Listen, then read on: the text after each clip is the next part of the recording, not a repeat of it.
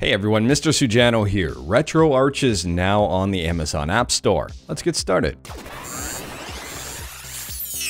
Alright, to kick things off, yes, you heard me correctly. One of my favorite emulation solutions out there, RetroArch. It's officially on the Amazon App Store. This is really big news. So if you have an Amazon Fire TV or an Amazon Fire tablet or an older Amazon device like the Fire Stick, well, you can now put RetroArch on it easily and officially. This is huge for emulation. You can turn any of these devices now into an emulation powerhouse.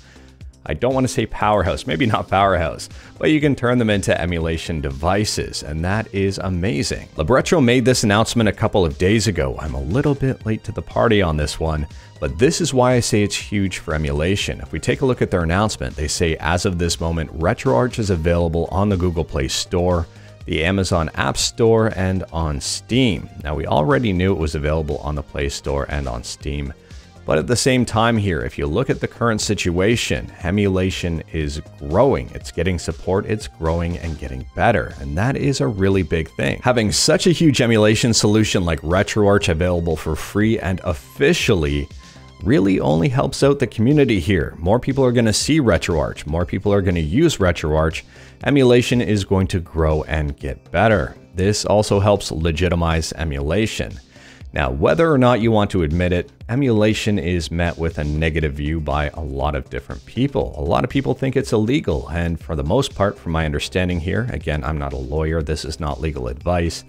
Uh, for the most part, emulation is perfectly legal. There are some questions around ROMs and also BIOS files and if any source code has been used from one of the big companies, but at the same time here, from a legality standpoint, emulation has been challenged in court and emulation has won. There's really nothing wrong with it.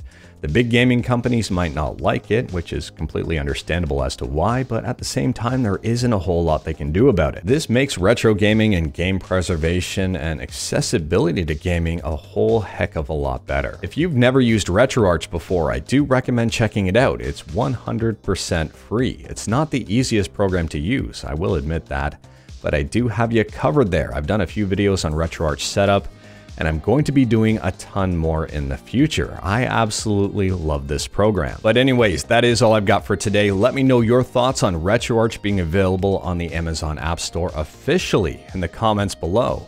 Let me know your thoughts on RetroArch in general in the comments below. If you have any questions you want me to do a video on about RetroArch, let me know in the comments below. If you like this video, leave a like. If you didn't like this video, leave a like.